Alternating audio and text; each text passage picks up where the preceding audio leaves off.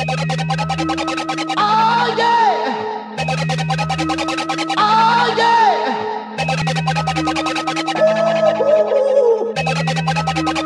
Oh,